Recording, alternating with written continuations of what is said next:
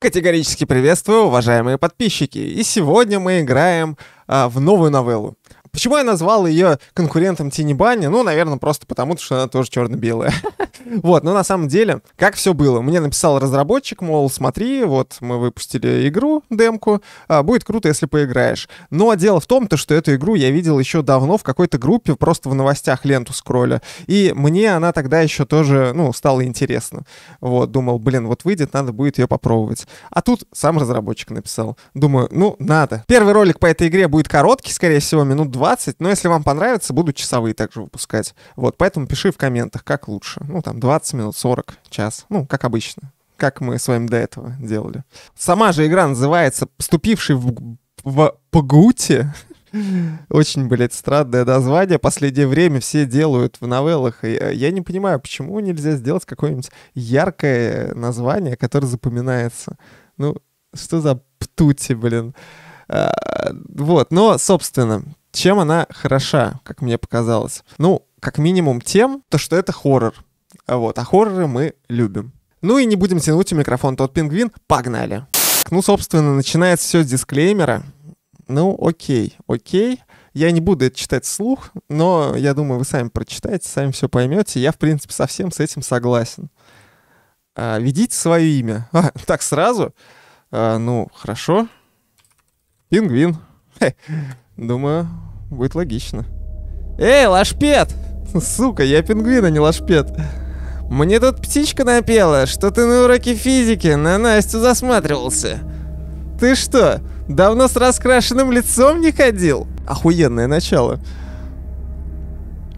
На Настю? Ха-ха! Ты себя в лицо видел? Чудило!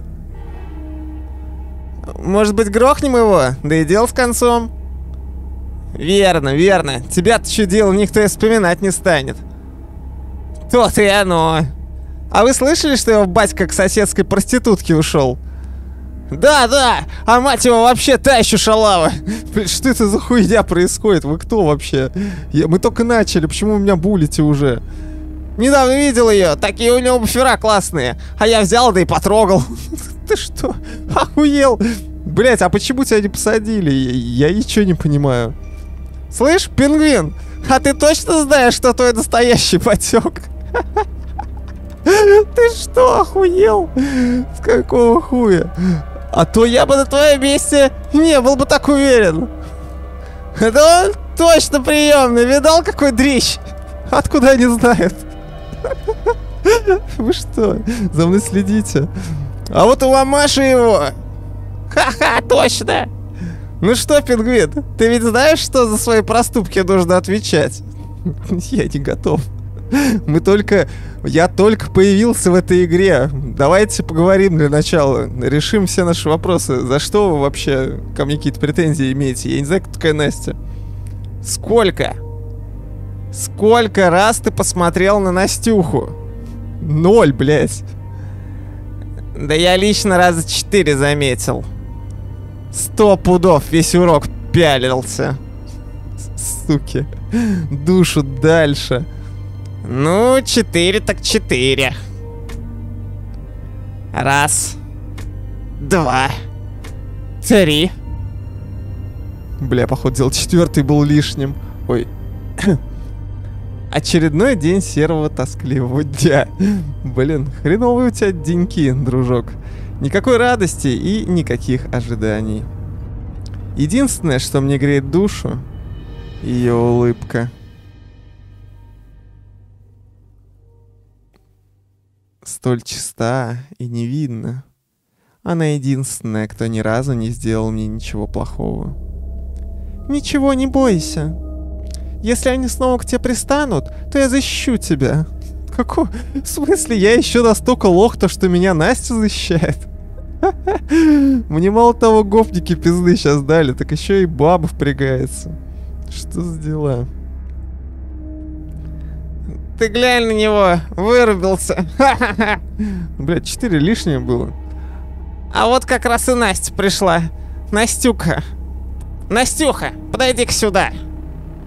Не надо. Мальчики, что происходит? Не смотри на меня. А ты знала, что на тебя наш пингвин ночами дрочит? Блять, откуда они все знают? Я не понимаю. Точно, точно. Я видел, что у него в телефоне ее фотки были. По-любому в толкайне на переменах наяривает. Прошу, прекратите. Ага, еще и болтает сам собой. Жуть. Ну что скажешь, Настюх? Я...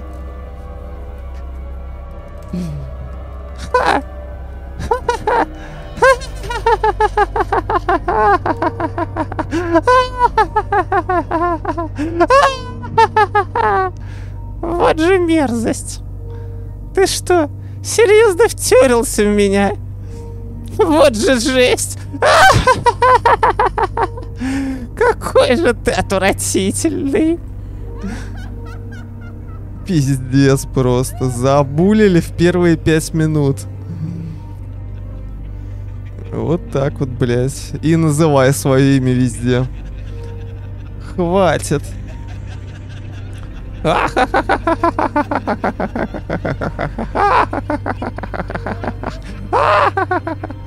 Хватит.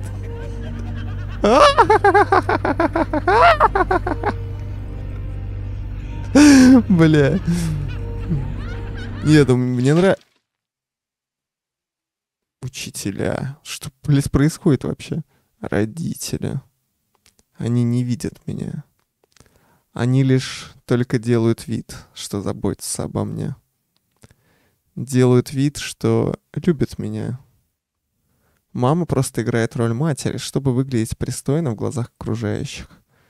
Какая ты молодец, воспитываешь одна сына, но ее забота идет не от сердца и потому мое собственное сердце остается холодным. Так же и с отцом. Он бросил нас, он бросил меня. Они не любят меня, и я отвечаю им нелюбовью. И так со всеми. Окружающие относятся ко мне с неприязнью. Я отвечаю им ненавистью. Как же... Как же мне все это надоело. А что, почему руки в крови? Очередной день серого тоскливого дня. Никакой радости от предстоящего дня и никаких ожиданий. Я встал с кровати. От резкого подъема у меня закружилась голова. Никаких звуков с других комнат, никаких светящихся родителей, готовящих завтрак. В этом году я закончил 11 класс и поступил в университет под названием ПТУТИ.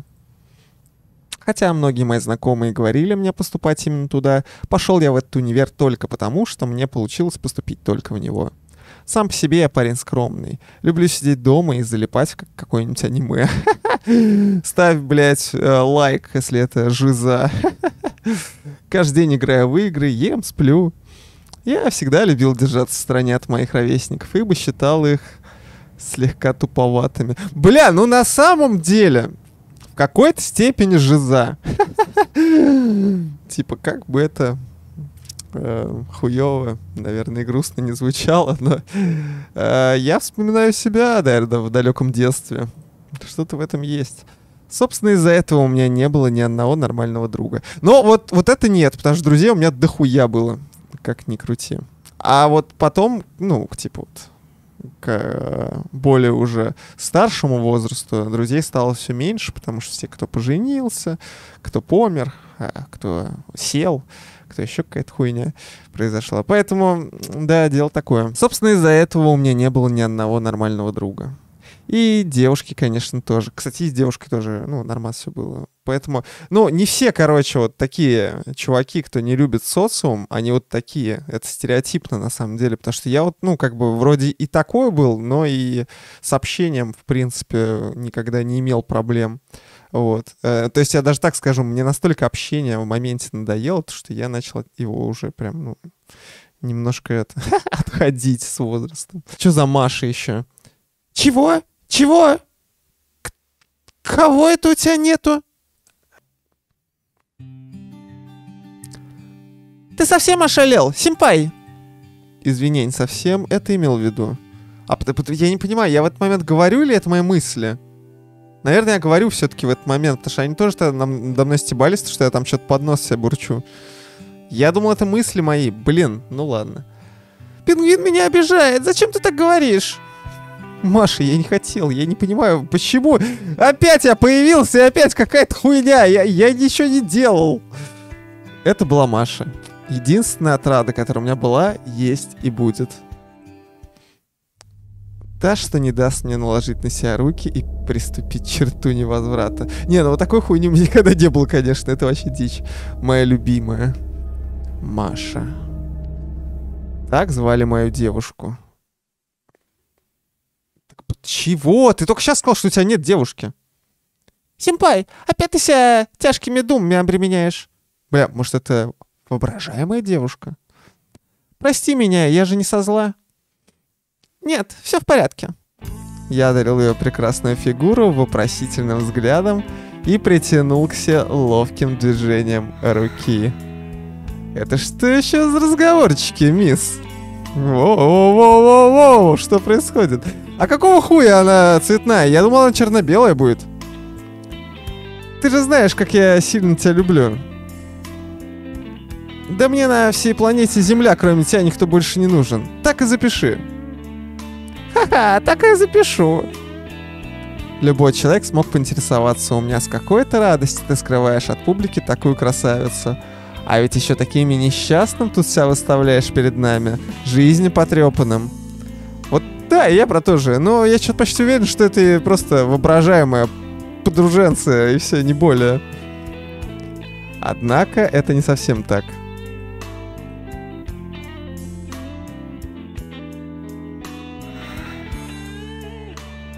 Мои отношения с Машей — это наш небольшой секретик от всего остального мира потому что она моя сестра. Прикиньте, вот, вот это вот вообще бы степень кринжа бы увеличилась. Главное во всей этой картине то, что я люблю ее, а она любит меня. Мы счастливы здесь сейчас. Точнее, были бы счастливы, если бы не раздражающий шлейф моего прошлого, что тянется за мной по пятам в настоящее и никак не желает отступать. Остается белым шумом на фоне живущего за окном города. Ты сегодня даже слишком миленький. Что-то хорошее все-таки случилось, симпай. Маша многозначительно сыркнула глазками. Маша и... Чё? Глазками. Паша и присела ко мне на колени. Какой нахуй Паша? Я пингвин же. Возможно, если ты вдруг забыла, то напомню, я же в университет поступил. И сегодня мой первый день, вообще-то. Как бы не хотелось мне расстраивать мою любимую Машеньку, но времени на раздумье в данной ситуации у меня было критически мало. Блин, они бы как-то разделяли бы вот этот момент, когда я говорю, а когда это мысли. Как в зайчике, допустим. Поэтому подними свой хвостик с моих колен и дай встать. Войди в положение, пожалуйста. Почему такая спешка? Я же могу сделать это все для тебя, пингвин. Мы оба знаем, что есть причины, по которым рубашку для меня погладить ты точно не сможешь. И как бы больно мне не было это признавать, это было чистейшей правдой. Да, пожалуй, ты прав. Ты всегда прав. Бля, что это за уши у нее? Это, это не настоящая барышня. Уверен, что это воображаемая. Так как ты мой хозяин, а я твоя. Стоп, какой нахуй хозяин? Она закусила губу и бросила на меня похотливый взгляд предпочту пока что воздержаться от любых действий сексуального характера. Сказал я и побежал гладить упомянутую ранее рубашку. Но Маша не унималась, она обнимала меня сзади и шептала на ушко. «Останься со мной сегодня. Зачем тебе универ? Давай купим пиццу, включим хентай и займемся...» «Нет! Маша, ты меня с животное какое-то похабное держишь, что ли?» Дай мне выйти на улицу, подышать свежим воздухом. Ну, ладно. И знай, я обиделась. Я взял, обидел бедную девочку. Надула щечки Маша, развернулась и демонстративно покинула комнату. Я, конечно, тебя люблю, но порой ты бываешь то еще. Занозой в одном месте. Взяв с собой теперь еще совсем легкий портфель, я вышел на улицу. Каждое утро я вижу лица прохожих, шагающих на работу. У всех одинаковые тусклые лица. Не выспавшиеся недовольные офисные планктоны едут на работу. Школьники, не любящие ходить в школу, они еще не знают, что это не самое худшее. Хотя, вспоминая свое школьное время, это было отвратительно. А, а, это уже будущее, что ли? А до этого нам прошлое показывали. А, а, подожди, или нет? Где нас булили, не пойму, в школе или в птуте? И вот мне интересно, знают ли все эти люди, зачем они встают каждый день? Есть ли какой-то смысл в этом? Неужели им приносит это удовольствие? Я никогда их не пойму. Идти до универа мне было совсем недалеко. Жил я в 15 минутах ходьбы от моего нового места учебы, рядом с парком Гагарина, в котором я часто любил гулять в гордом одиночестве. Блин, я тоже в детстве жил около парка Гагарина. Какая же за... Мое волнение было видно на лицо. Я чувствовал свой испуганный взгляд и трясущиеся руки. Как меня воспримут новые одноклассники? Тьфу ты, однокурсники, одногруппники. Надеюсь, что люди, поступающие в институт, будут гораздо умнее и спокойнее, чем школьники, дергающие девочек за косички. Блять, да это... Это место, нахуй, где я жил, как будто я, я вам отвечаю. Тут такая же, блядь, церковь, нахуй. Там такие же дома. Тут такое же шоссе. Московское шоссе. Что... Это что, блядь, Самара, что ли? Ничего не понимаю. Это прям реальное место, как будто где я жил, нахуй. Надеюсь, что люди, поступавшие в институт, будут гораздо умнее и спокойнее, чем школьники, дергающие девочек за косички. Школьники, плюющиеся из трубочек на уроках. И ходящие курить в туалете на перемене. Школьники, задирающие таких, как я. Блять. Я забыл, мыжелох. Яркий солнечный свет. Подышать было решением, конечно, относительно выгодным. Но вот лучи этого величественного небесного светила знатно ударили меня по опухшим глазам. Солнце сейчас представлялось мне желтым колобком с российской имиджборды «Двач». А, а бля, мне, мне пришлось немножко времени, чтобы понять, о, о чем я речь. Оно просто не могло перестать смеяться с проходящего мимо хикана. Пускай ты смеешься и улюлюкаешь надо мной в данную секунду, но я тебе еще докажу, солнце. Я заведу в этом универе хороших друзей. Бля, какой же мы, блядь, лох. Мы просто мы идем и солнцу доказываем, что все будет типа ок. Ну, или хотя бы знакомых. Так тому и быть. Хотя, учитывая то, что я социальный подросток, думаю, что это останется за гранью моих возможностей. Мне стоило бы более трезво оценивать собственные силы. Впереди начала вырисовываться толпа молодых людей. Должно быть, это и есть студенты нашего вуза? Вчерашний абитуриент, пионер, так сказать. А ведь сегодня уже гордый студент первого курса, комсомолец. Я часто задумываюсь насчет того, что толпа — это не отдельно взятый биоритм, а целый живой организм с кучей протекающих в нем циклов. Люди постоянно покидают этот вакуум лишь для того, чтобы попасть в него вновь. У толпы меняется настроение. Она может быть как настроена убивать, так и настроена сострадать. Но я не могу увидеть собственные роли во всем этом. Я не чувствую себя частью толпы. Я чувствую себя скорее ледорубом, нещадно уничтожившим эту конструктацию, вопреки ее ожиданиям. Я что, блядь, упал? От резкого удара я чуть не упал на землю. Что-то врезалось прямо мне в спину с большой скоростью. Самокат? «Куда ты прешь? Глаза разуй!» Я обернулся и увидел агрессивно настроенную особу. Выглядела она на удивление довольно хорошо. Спортивное телосложение, глубокие голубые глаза, черная модная кепка и длинные русые волосы. Большая грудь, узкая талия, широкие бедра. Ладно, что-то я отвлекся. Стало понятно, что именно она врезалась в меня. Ну вот, кажется, утро уже не сдалось. Непонятно было, зачем она кричит, ведь врезалась в меня именно она. И это несмотря на то, что дорога была довольно широкой. По правде говоря, мне не очень хотелось бы портить себе день. Чё вылупился? Язык проглотил? Не хотелось бы проблем в свой первый учебный день. Однако эта девушка явно перегибала палку. Опа, опа. А вот и первый выбор, гайс. Ну, вот как раз, вот я думаю, как раз это будет, наверное, может быть правильным. Ну, типа сейчас закончить. Да, наверное, давайте пишите в комментарии, что сделать, возразить или извиниться. Вот, и, собственно, завтра я выпущу продолжение. Ну и оно будет, если этот ролик вам понравится, оно будет подлиннее.